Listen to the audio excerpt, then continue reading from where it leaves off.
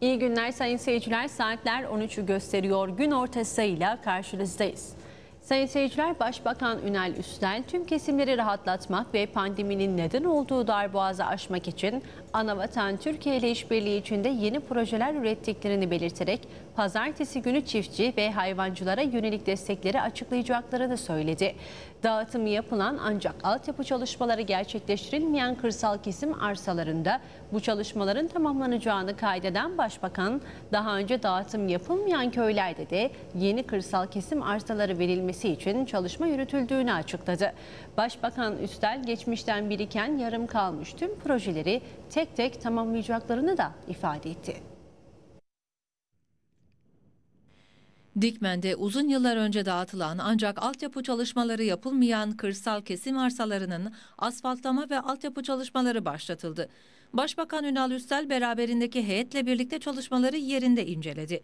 Başbakan Üstel'e eşlik eden İçişleri Bakanı Ziya Öztürkler, Başbakan'dan aldıkları talimat doğrultusunda gençlerin bu topraklarda tutunabilmesi için çalışmaları sürdürdüklerini söyledi. Her hafta bir köyümüze yatırım götürme noktasındaki çalışmalarımız e, hükümetimiz olarak başbakanımızın başkanlığında devam ediyor.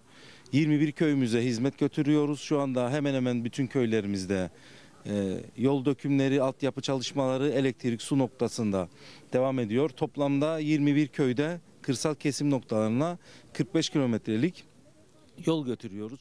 Başbakan Ünal Üstel de göreve geldikleri günden bu yana hükümet programında yer alan tüm maddeleri bir bir yerine getirdiklerini söyledi. Bir reform ve icraat hükümeti kurduklarını kaydeden Başbakan Üstel, geçmişten biriken yarım kalmış projeleri tek tek tamamlayacaklarını belirtti.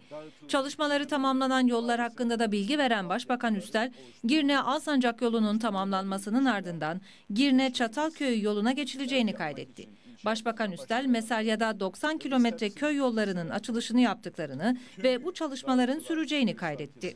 Dikmen'de geçmişte dağıtılan kırsal kesim arsalarında altyapı çalışmalarının yapılmaması nedeniyle gençlerin arsalarına ev inşa edemediğini anlatan Üstel, hepsini sıraya koyduk. Dağıtılan tüm kırsal kesim arsalarında altyapı çalışmaları yapılacak dedi. Geri kalan köylerimizde de kırsal kesim dağıtılması için kırsal kesim arsası çalışmalarımız ilgili İçişleri Bakanlığımız yapıyor. O çalışmalar da bittikten sonra kısmetse 2023 yılı içerisinde de orada da köy köy gezip gençlerimize önce kırsal kesim arsalarını sonra da altyapılarını yaparak oralardaki ekmek paralarını kazanması için de o çalışmaları bitireceğiz. Başbakan hükümet olarak 2026 yılına kadar icraatın başında olacaklarını ve Anavatan Türkiye'nin mali işbirliği protokolü çerçevesinde verdiği destekle icraatlarını sürdüreceklerini belirtti. Yine geçen gün gördüğünüz gibi yeni bir ek protokol yaptık.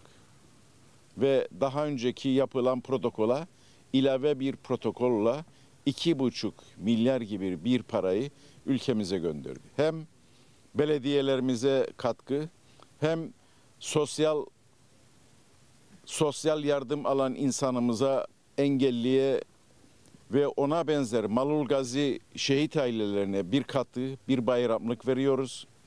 Ve bunun yanında yarın pazartesi günü yine açıklayacağımız hayvancıya, çiftçiye ki çiftçiye daha önce biliyorsunuz gübre desteği yaptık ve bunlara da dokunuşlar yapacağız. Yalnız sosyal yardım alan kesimlere 45 milyon gibi bir ek kaynakla kendilerine dokunuyoruz. Yani bütün kesimlerdeki insanımıza her platformda kendilerini rahatlatması için ve özellikle bu iki senenin pandeminin ekonomide yarattığı darboğazı aşmak için ana vatanımızla birlikte, ana vatanımızla işbirliği içerisinde her geçen gün yeni yeni projelere ve insanımızın daha rahat yaşamasını sağlamak için de dokunuşlar yap, e, yapacağız. Başbakan Ünal Üstel, Gaziköy Dilekkaya arasında yapımı devam eden yol çalışmalarını da yerinde inceledi. Dilekkaya köyünde vatandaşlarla bir araya gelen Başbakan Üstel, yol çalışmasının büyük bir bölümünde sona gelindiğini, geri kalan kısmının ise en kısa sürede altyapı çalışması tamamlanarak asfaltlama işleminin ardından bölge halkının hizmetine açılacağını ifade etti. Hükümetin tüm gücüyle çalışarak Anavatan Türkiye Cumhuriyeti'nin desteğiyle kritik öneme sahip projeleri hayata geçirdiğini belirten Üstel, Asrın su projesiyle Toroslardan Geçitköy'e akan su tüm adaya can suyu olmuştur dedi. Başbakan Üstel, Türkiye Cumhurbaşkanı Yardımcısı Fuat Oktay'ın katılımıyla gerçekleştirilen törenle su projesinin ikinci etabının açılışının yapıldığını belirterek, Güzelyurt bölgesinde narenciye üreticilerinin yaşadığı sulama sıkıntısının aşıldığı ve Orta Mesalya Ovası Sulaması İletim Hattı projesi bittiği zaman Mesalya'nın su sıkıntısının son bulacağının müjdesini verdi. Türkiye Cumhurbaşkanı Erdoğan, Kuzey Kıbrıs Türk Cumhuriyeti'nin Türk Devletleri Teşkilatı'na gözlemci üye olmasını değerlendirerek Türk dünyasının ayrılmaz bir parçası olan Kıbrıs Türk'ünün yalnız olmadığını gösterdiklerini vurguladı. Erdoğan, Kuzey Kıbrıs olayı Kosova kadar kolay değil ama elimizden geleni yapacağız. İşin üzerine üzerine gidecek. İnanıyorum ki dünyaya tanıtma imkanı bulacağız dedi. Türkiye Cumhurbaşkanı Recep Tayyip Erdoğan, Özbekistan ziyareti sonunda gazetecilerle bir söyleşi gerçekleştirdi. Erdoğan, Kuzey Kıbrıs Türk Cumhuriyeti'nin Türk Devletleri Teşkilatı'na gözlemci üye olmasını kabul ettiklerini belirterek, Türk dünyasının ayrılmaz bir parçası olan Kıbrıs Türk'ünün yalnız olmadığını gösterdiklerinin altını çizdi. Alınan bu tarihi kararın başta Kıbrıs Türkleri olmak üzere hepimize hayırlı olmasını diliyorum. Kardeşlik hukukumuzun gereğini yerine getirdikleri için tüm liderlere teşekkür ediyorum diyen Erdoğan, Kuzey Kıbrıs Türk Cumhuriyeti'nin Türk Devletleri Teşkilatı'na gözlemci üye olarak katılmasını tanıma olarak değerlendirilmesinin yanlış olduğunu da kaydetti. Türkiye Cumhurbaşkanı Erdoğan konuya ilişkin şöyle konuştu. Tanınmanın birçok özellikleri, hassasiyeti var. Tabii ki ilk teşekkürü Cumhurbaşkanı'ndan aldık. Ersin Bey aradı, teşekkür etti. Birleşmiş Milletler Genel Kurulu'nda yaptığımız konuşma demek ki ses verdi. Burada bu işin altyapısını çok güçlü tutmamız lazım. Şimdi bizim önce bir altyapı çalışmasını başlatmamız lazım. Altyapı çalışmasından sonra da dünya genelinde Kuzey Kıbrıs'ı bir devlet olarak dünyaya tanıtma konusunda adeta bir sarmal oluşturmamız lazım ve bu sarmalla dünyayı kuşatmamız lazım. Yani bu Kosova olayında mesela oldu. O zamanlar bir anda tabii o işin ateşiyle birlikte Kosova'yı tanıyan ülke yüzü açtı. Şu anda da işte 120 civarında ama orada tıkandı kaldı. Çünkü Amerika'da maalesef işe sahip çıkmadı. Yine bizler sahip çıktık, bizler sahip çıkıyoruz. Fakat Kuzey Kıbrıs olayı tabii Kosova kadar kolay değil daha zor. Ama elimizden geleni yapacağız. İşin üzerine üzerine gideceğiz. İnanıyorum ki Kuzey Kıbrıs'ı dünyaya tanıtma imkanı bulacağız. Cumhurbaşkanı Ersin Tatar, Cumhurbaşkanı Yardımcısı Fuat Oktay'a Türk Devletleri Teşkilatı'na gözlemci üyelik sürecinde Kuzey Kıbrıs Türk Cumhuriyeti'ne verdiği destekten dolayı teşekkür etti. Cumhurbaşkanı Tatar telefonla aradığı Türkiye Cumhurbaşkanı Yardımcısı Oktay'a Kuzey Kıbrıs Türk Cumhuriyeti ve Kıbrıs Türklerine sağladığı destek, Kuzey Kıbrıs Türk Cumhuriyeti'nin tanınması konusunda sergilediği kararlı duruş ve çalışmalar dolayısıyla Kıbrıs Türkleri adına teşekkürlerini iletti. Cumhurbaşkanı Yardımcısı Oktay ise Türkiye olarak geçmişten bu yana Kuzey Kıbrıs Türk Cumhuriyeti'nin yanında yer aldıklarını ve bundan sonra da Kıbrıs Türklerini asla yalnız bırakmayacaklarını belirterek Kıbrıs'ta egemen eşit iki devlet temelinde çözüme dolayısıyla Kuzey Kıbrıs Türk Cumhuriyeti'nin tanınmasına yönelik çaba göstermeye devam edeceklerini kaydetti. Sayın seyirciler bugün Türkiye ile eş zamanlı olarak 6 ilçede eş zamanlı olarak deprem tatbikatı yapılacak. Saat 17.57'de sivil savunma radyolarından tatbikat duyurusunun ardından halkın deprem anındaki doğru hareket tarzını prova etmesi istendi. Sivil Savunma Teşkilatı Başkanlığı'yla Türkiye Cumhuriyeti İçişleri Bakanlığı Afet ve Acil Durum Yönetimi Başkanlığı koordinesinde bugün deprem tatbikatı gerçekleştirilecek. 1999 Düzce depreminin yıl dönümü olması nedeniyle tüm Türkiye ve Kuzey Kıbrıs Türk Cumhuriyeti genelinde gerçekleştirilecek çök, kapan, tutun tatbikatıyla meydana gelmesi muhtemel bir deprem esnasında halkın doğru hareket tarzıyla ilgili bilgilendirilmesi ve söz konusu afetle ilgili toplumda farkındalık yaratılması amaçlanıyor. Sivil Savunma Teşkilatı Başkanlığından yapılan açıklamada 6 ilçede eş zamanlı olarak gerçekleştirilecek tatbikata tüm vatandaşların katılması çağrısında bulunarak Bugün saat 17.57'de sivil savunma radyolarından tatbikat duyurusunun yapılmasının ardından halkın bulundukları yerlerde söz konusu hareketi uygulayarak deprem anındaki doğru hareket tarzını prova etmesi istendi. Açıklamada Lefkoşa, Gazi Mausa, Girne, Güzelyurt ve İskele ilçelerinde belirlenen yerlerde de çök, kapan, tutun uygulamasının gerçekleştirileceği kaydedildi. Evet sayın seyirciler bugün yapılan Cumhuriyet Şöleni haberini aktarıyoruz. Gençlik Dairesi'nin Kuzey Kıbrıs Türk Cumhuriyeti'nin 39. kuruluş yıl dönümü çerçevesinde düzenlediği 25. Cumhuriyet Şöleni bugün yapılıyor. Şölen Lefkoşa Atatürk Stadyumunda saat 10'da Cumhuriyet Rallisi ile başladı. Şölen Cumhuriyet bisiklet yürüyüşüyle devam edecek. Cumhuriyet Şöleni sahne gösterileri ise 15'te başlayacak ve 17.30'da sanatçı Ahmet İvan'ın vereceği konserle sona erecek. Şölenin sahne gösterileri saat 15'ten itibaren BRT 1'den canlı yayınlanacak ve bir diğer haberle devam ediyoruz. Sağlık Bakanlığı 14 Kasım pazartesi günü itibariyle hatırlatma dozunun yaş kriterlerinin kaldırılacağını bildirdi. Sağlık Bakanlığı'ndan yapılan yazılı açıklamada 1 Kasım 2022 tarihi itibariyle koronavirüs hatırlatma doz aşılarına başlandığı kaydedildi. Bakanlıktan yapılan açıklamada 14 Kasım pazartesi günü itibariyle hatırlatma dozunun yaş kriterinin kaldırılacağı duyuruldu. 12 yaş ve üzeri aşı yaptırmak isteyen vatandaşların Temel Sağlık Hizmetler Dairesi'ne bağlı sağlık merkezlerinde ve hastanelerde aşılarını yaptırabilecekleri kaydedilen açıklamada, hatırlatma dozu yapacak olan kişilerin en az 2 Biontech aşı yaptırmış olması gerektiği de belirtildi. Açıklamada tek Biontech aşısı olanlar tam aşılı sayılmayacak, aşılarını tamamlamaları gerekecektir. 3 Biontech aşılı olanlar bir hatırlatma dozu yapabilecektir. 4 Biontech aşılı olanların hatırlatma dozu yapmalarına gerek yoktur. Hatırlatma doz aşısı bir önceki aşı dozundan en az 3 ay sonra yapılmalıdır ifadelerine yer verildi. Açıklamada hiç aşı yapmamış ve koronavirüs geçirmiş kişiler Biontech aşısını hastalıklarının 3. ayından sonra ilk kez aşı olmuş gibi aşılarını başlatmaları gerekecektir. Yine aşılı ancak koronavirüs geçirmiş kişiler hatırlatma dozlarını hastalıktan 3 ay sonra yapabileceklerdir denildi. Birleşmiş Milletler İsrail'in Filistin işgaliyle ilgili Uluslararası Adalet Divanı'ndan görüş istedi. Birleşmiş Milletler İsrail'in faaliyetlerinin bir sonucu olarak Filistin halkının kendi kaderini tayin hakkının reddedilmesinin yasal sonuçları hakkında Uluslararası Adalet Divanı'ndan acilen görüş açıklamasını talep etti. Birleşmiş Milletler Genel Kurulu Özel Siyasi ve Dekolonizasyon Komitesi'nde 1967'deki savaştan bu yana İsrail'in faaliyetleri sonucunda Filistinlilerin kendi kaderini tayin hakkının reddedilmesinin yasal sonuçları hakkında Adalet Divanı'ndan ivedilikle görüş bildirmesi talep edilen karar tasarısına ilişkin oylama yapıldı. Komitede yapılan oylamada tasarı 17'ye karşı 98 oyla kabul edilirken 52 ülke çekimser oy kullandı. Tasarıda Kutsal Kudüs'ün demografik yapısını, niteliğini ve statüsünü değiştirmeyi amaçlayan önlemlerde dahil olmak üzere 1967'den bu yana işgal ettiği Filistin topraklarının uzun süreli işgali, yerleşimiyle ilhakı ve ayrım yapan yasayla önlemleri kabul etmesi nedeniyle İsrail'in Filistinlilerin kendi kaderini tayin etme hakkını ihlal ettiği belirlendi.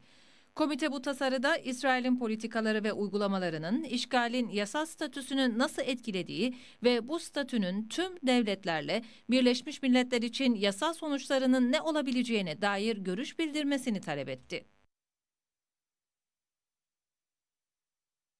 Sayın seyirciler, Ukrayna Devlet Başkanı Zelenski, Rus güçlerinin çekildiği Herson kentine Ukrayna askerlerinin girmesine ilişkin bugün tarihi bir gün Herson'a geri dönüyoruz açıklamasını yaptı. Ukrayna Devlet Başkanı Volodymyr Zelenski, Telegram hesabından yaptığı görüntülü paylaşımında Ukrayna özel kuvvetlerinin Rus güçlerin çekildiği Herson kentine girmesini değerlendirdi. Ordunun Herson kentine yaklaştığını dile getiren Zelenski, Bugün tarihi bir gün. Ülkemizin güneyine her sona geri dönüyoruz. Şu an itibarıyla savunucularımız şehre yaklaşıyor. Az kaldı. Biz de girmeye çalışıyoruz dedi. Zelenski, Herson halkının Ukrayna'dan asla vazgeçmediğini dile getirerek halkı Rus sembollerini ve işgalcilerin Herson'daki varlığının izlerini sokaklardan ve evlerinden kaldırdıklarını söyledi. Almanya Başbakanı Olaf Scholz ve Ukrayna Devlet Başkanı Volodymyr Zelenski 19 Kasım'da sona erecek Karadeniz Tahıl Girişimi Anlaşması'nın süresinin uzatılması çağrısında bulundu. Alman hükümeti sözcüsü Stefan Heberschreit yaptığı yazılı açıklamada şansölye Scholz ve Zelenski'nin G20 zirvesi öncesinde telefonda Ukrayna'daki askeri, siyasi ve insani durum hakkında görüş alışverişinde bulunduğu belirtildi. Scholz'un Almanya'nın öncelikli olarak Ukrayna'nın enerji altyapısı ve hava savunma alanlarına verdiği desteğin süreceğini vurguladığını aktaran sözcü, Scholz ve Zelenski'nin dünyadaki gıda durumunu iyileştirmeye katkı sağlayan Birleşmiş Milletler himayesindeki tahıl anlaşmasının 19 Kasım sonrası içinde uzatılması çağrısında bulunduğunu bildirdi. Birleşmiş Milletler Genel Sekreter Sözcüsü Stephanie Tremblay, 9 Kasım'da yaptığı açıklamada Birleşmiş Milletler Ticaret ve Kalkınma Konferansı Genel Sekreteri Rebecca Grispan ve Birleşmiş Milletler İnsani İşlerden sorumlu Genel Sekreter Yardımcısı Martin Griffiths'in 19 Kasım'da sona erecek tahıl koridoru anlaşmasının uzatılmasına ilişkin Rus yetkililerle Cenevre'de bir araya geleceğini aktarmıştı. Kuzey Kıbrıs Türk Cumhuriyeti'nin 39. yıl dönümü kutlama töreninin provası nedeniyle yarın bazı yollar trafiğe kapatılacak. Kuzey Kıbrıs Türk Cumhuriyeti'nin 39. kuruluş yıl dönümü kutlama tören provası nedeniyle yarın Lefkoşa'da sabah 8'den itibaren tören provasının sona ereceği saate kadar Gönyeli çemberiyle Honda trafik ışıkları kavşağı arasında kalan yol güzergahı trafik akışına kapatılacak. Polisten yapılan açıklamada belirtilen tarih ve saatlerde trafik akışına engel olmamak için sürücülerin belirtilen yollar üzerine araçlarını park etmemeleri, ayrıca trafik işaret ve işaretçilerine uymaları gerektiği kaydedildi. Belirtilen tarih ve saatlerde kullanılabilecek alternatif yollarda aktarıldı. Polis Genel Müdürlüğü ekipleri ülke genelinde trafik denetimleri yaptı. Denetimler sonucu çeşitli suçlarda toplam 336 araç sürücüsü rapor edilirken 3 araç sürücüsü tutuklandı ve 24 araç trafikten men edildi. Polis basın subaylığından verilen bilgiye göre trafik kazalarının oluşumunda önemli etkenlerden olan süratli araç kullanma ve alkollü içki tesiri altında araç kullanmanın önüne geçebilmek adına ülke genelinde polis tarafından trafik denetimleri devam etti. Denetimler kapsamında 1555 araç kontrol edilirken 24'ü alkollü içki tesiri altında araç kullanma ve 90'ı belirlenen hız sınırı üzerinde süratli araç kullanmak olmak üzere çeşitli suçlardan toplam 336 araç sürücüsü rapor edildi. 3 araç sürücüsü tutuklandı ve 24 araçsa trafikten men edildi. Sayın seyirciler, Meteoroloji Dairesi çarşamba günü sağanak yağmur beklendiğini bildirdi. Meteoroloji Dairesi'nin 12-18 Kasım tarihli hava tahmin raporuna göre salıya kadar hava açık ve az bulutlu geçecek. Çarşamba günü itibarıyla sağanak yağmurlu havanın gelmesi ve cuma gününe kadar devam etmesi bekleniyor. Bölgemiz alçak basın sistemiyle serin ve nemli hava kütlesinin etkisi altında kalacak. En yüksek hava sıcaklığı ise iç kesimlerde ve sahillerde 22-25 derece dolayında olacak. Güne yansıyan gelişmelerle karşınızda olduk. İyi günler diliyoruz.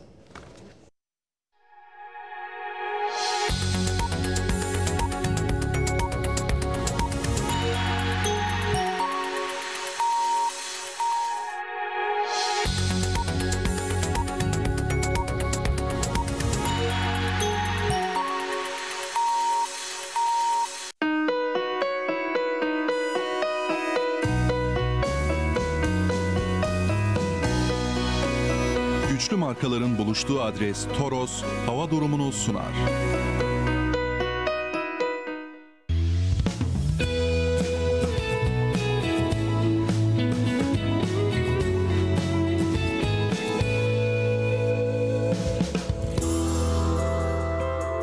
Alçak basınç sistemi ile nemli ve nispeten ılık hava kütlesinin etkisinde kalacak olan yurdumuzda hava bugün açık ve az bulutlu zamanla parçalı bulutlu geçecek. Rüzgar kuzey ve doğudan orta kuvvetle esecek. Bugün gündüz en yüksek hava sıcaklığı Lefkoşa'da 25, Girne'de 24, Alev Kayası'nda 21, Güzelyurt'ta 25, Gazi Mosa'da 25, Lefke'de 24, Yeni Erenköy'de 23, İskele'de 26 derece dolaylarında olacak.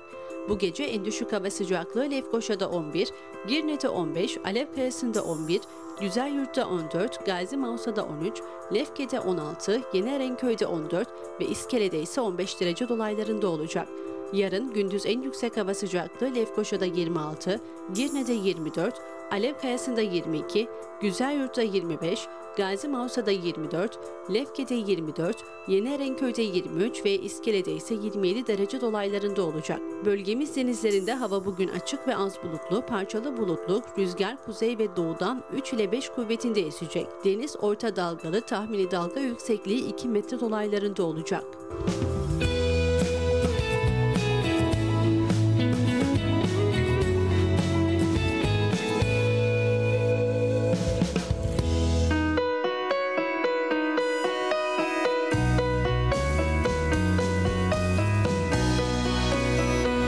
Markaların buluştuğu adres Toros hava durumunu sundu.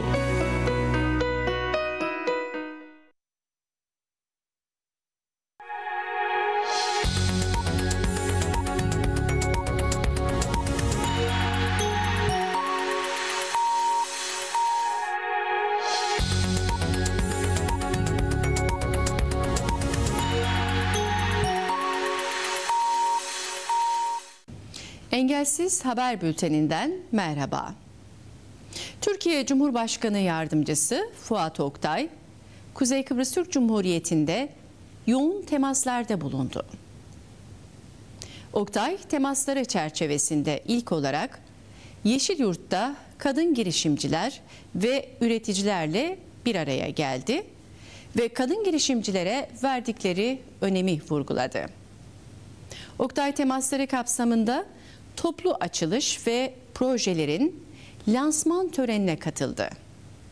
Burada önemli mesajlar veren Fuat Oktay, iktisadi ve mali işbirliği protokolü kapsamında yıl sonuna kadar Kuzey Kıbrıs Türk Cumhuriyeti'ne 4 milyar 250 milyon TL kaynağı ek olarak 2,5 milyar Türk lirası katkı sağlanacağını vurguladı. Yerleşke projesinin yapılacağı alanı da ziyaret eden Fuat Oktay, yerleşkeye karşı olanlar karşılarında Kuzey Kıbrıs Türk Cumhuriyeti ve Türkiye Cumhuriyeti Devleti'ni bulur dedi. Oktay, BRT'de ise canlı yayına katıldı. Yayıncılık Müzesi ile Döngü isimli resim sergisini gezdi. Fuat Oktay adadan ayrılmadan önce Cumhurbaşkanı Ersin Tatar tarafından kabul edildi. Türkiye Cumhuriyeti'nin kurucusu Ulu Önder Mustafa Kemal Atatürk ölümünün 84. yıl dönümünde ülkemizde de törenler ve etkinliklerle anıldı. Atatürk'ün hayatını kaybettiği saat 9.05'te tüm ülkede sirenler eşliğinde saygı duruşunda bulunuldu. Gönderdeki bayraklar yarıya indirildi. Ulu Önder Mustafa Kemal Atatürk için başkent Lefkoşa yanında tüm ilçelerde ve bucaklarda anma törenleri düzenlendi. Lefkoşa'da Atatürk Kültür Merkezi'nde gerçekleşen anma programında yapılan konuşmalarda Ulu Önder Mustafa Kemal Atatürk sevgi ve saygıyla anıldı ve insanlık tarihinin tanıdığı en büyük devlet adamlarından biri olduğu vurgulandı. Cumhurbaşkanı Ersin Tatar Londra'da temaslarda bulundu. Londra'da yaşayan Kıbrıslı Türklerle buluşan Cumhurbaşkanı Tatar, yurt dışında yaşayan Kıbrıslı Türklerin nüfusunu belirlemek amacıyla bir proje başlattıklarını açıkladı. Tatar, Kıbrıs konusundaysa Kuzey Kıbrıs Türk Cumhuriyeti Devleti'nin Kıbrıs Türk halkının onuru, güvenliği, geleceği ve varlığının teminatı olduğuna vurgu yaptı. Tatar, Doğu Akdeniz'de kilit bir devlet konumuna gelen Kuzey Kıbrıs Türk Cumhuriyeti'ne sonuna kadar sahip çıkılması, geliştirilmesi için Türkiye ile birlikte sonuna kadar mücadele vereceklerini kaydetti. Kuzey Kıbrıs Türk Cumhuriyeti dünyanın en prestijli fuarlarından olan 2022 Dünya Turizm Fuarı'nda temsil edildi. Londra'da yer alan fuarda 182 ülkeden yaklaşık 5000 firma katıldı. Turizm paydaşlarının da katıldığı fuarda ülke tanıtımının yanı sıra ülkeye özgü lezzetlerin ikramı da yapılarak standı ziyaret eden misafirlerin kültürel lezzetleri tatması sağlandı. Bu arada İngiltere temasları sırasında Cumhurbaşkanı Tatar da Kuzey Kıbrıs Türk Cumhuriyeti standını da ziyaret etti. Tatar doğası, kültürü, yeni yatırımları ve yeni havalimanıyla Kuzey Kıbrıs Türk Cumhuriyeti'nin Doğu Akdeniz'de her geçen gün parlayan bir yıldız olduğunu kaydetti. 4,5-5G ihalesini kazanan Kuzey Kıbrıs Türksel'e yetkilendirme belgesi verildi. Törene katılan Bayındırlık ve Ulaştırma Bakanı Erhan Arıklı, ülkenin bu teknolojiye ihtiyacı olduğuna işaret etti. Arıklı, 4,5G'nin 5-6 ay içerisinde topluma kazandırılacağını da kaydetti. Maliye Bakanı Ali Şan Şan da teknolojinin tüm alanlarda etkin kullanılması için büyük mücadele verildiğini söyledi. Çalışma ve Sosyal Güvenlik Bakanı Hasan Taçoy, Sosyal Hizmetler Dairesi bünyesinde hizmet veren 18 yaş üstü engelli ve rehabilitasyon merkezi yetkilileri ve merkeze devam eden gençleri kabul ederek görüştü. Merkezin ihtiyaçlarının ele alındığı görüşmede Bakan Taçoy, engelsiz yaşam evinin açılmasıyla birlikte yeni bir rahatlamanın da yaşanacağını anlattı. Taçoy, devletin sosyal güvence sorumluluğunu yürüten bakanlık olarak her bireyin bu yöndeki ihtiyaçlarını karşılamak için gereken tüm çalışmaları sürdürmekte olduklarını ifade etti. Kıbrıs ve Atatürk Türk Ajansı Kıbrıs'ın kurucusu Sayit Arif Terzioğlu'nun arşivinden hazırlanan Kıbrıs ve Atatürk sergisinin açılışı yapıldı. Bayrak Radyo Televizyon Kurumu, Türk Ajansı Kıbrıs, Milli Arşiv ve Araştırma Dairesi işbirliğinde hazırlanan Kıbrıs ve Atatürk sergisi, Bayrak Radyo Televizyon Kurumu Yayıncılık Tarihi Müzesi'nde açıldı. Sergi 10 Aralık'a kadar gezilebilecek.